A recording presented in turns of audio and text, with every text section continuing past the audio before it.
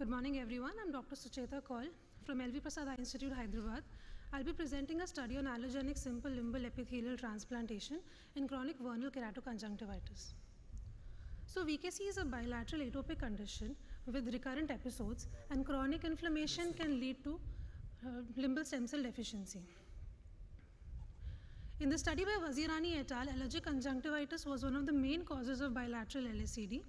Limbal stem cell transplantation should be considered as a treatment option in bilateral cases of LSCD. Ideal criteria for SLET are wet ocular surface, no symblepharon, and a clear to translucent corneal stroma. Objective of the study was to assess the outcomes of performing allogenic SLET in patients with bilateral LSCD in chronic VKC.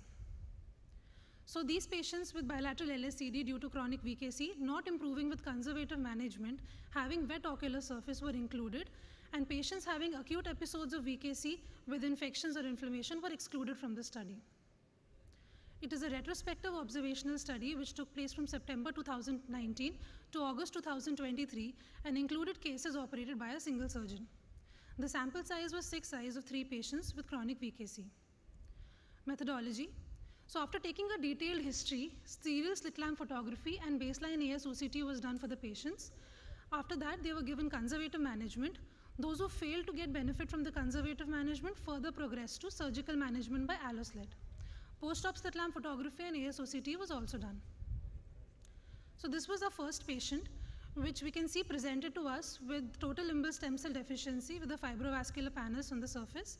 Right eye BCVA was 20 by 200 and left eye was counting fingers. This was the ASOCT which shows thickened cornea with a hypertrophied epithelium but a clear stroma. The second case presented with right eye BCVA of counting fingers and left eye of hand movement. The ASOCT presented a similar picture. The third case had right eye BCVA of finger counting, but the left eye BCVA was 20 by 30 owing to the clear central cornea and partial limbal stem cell deficiency seen in the periphery. And this was the ASOCT of the patient. Both the patient, all the patients were given conservative management with Cromal Forte, tacrolimus, and tapering doses of topical steroids.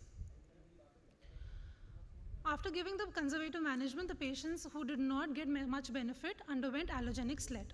So 360 degree perilimbal conjunctival peritomy was done and pannus was separated from the cornea. Amniotic membrane was secured with fibrin glue.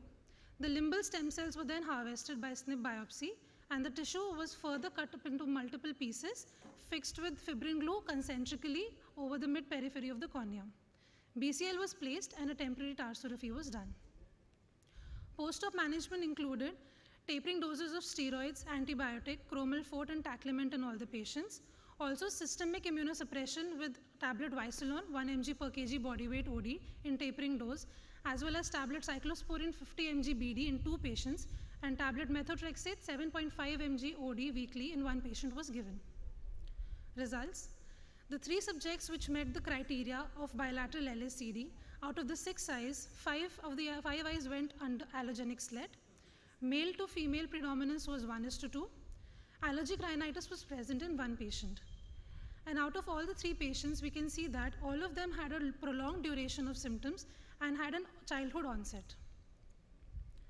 Histopathologically, the characteristics seen in VKC are as shown in the images.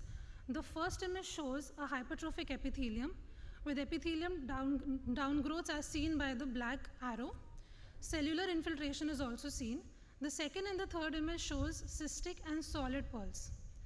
These same characteristics were also seen in the pannus dissected in our cases. So the post-op vision for the first patient in right eye improved to 20 by 100, left eye improved to 20 by 50. The second patient right eye improved to 20 by 250 and left eye to 20 by 40. Third patient right eye improved to 20 by 50. So these are the post-op images of our first patient showing clear corneal surface and the ASOCT, which shows the normal corneal uh, thickness as well. This was the second patient with the normal ASOCT and the third patient. So SLET has multidirectional growth of epithelial cells which consecutively merge and form a epithelium over the corneal surface. This process takes 14 days after the surgery. In a study by Shanbhag et al., it was deduced that In chronic ocular allergies, allogenic SLET with prolonged systemic immunosuppression has benefits in treating bilateral LSCD. So to conclude, VKC with advanced bilateral LSCD can be successfully managed with allogenic SLET. Systemic immunosuppression is essential in these cases to ensure the functioning of the graft and also has an additional benefit in the ocular allergy. PROSE lenses can improve the visual acuity, but it should be made sure that the fit is good so that there is no mechanical compression affecting the health of the limbal stem cells. Thank you.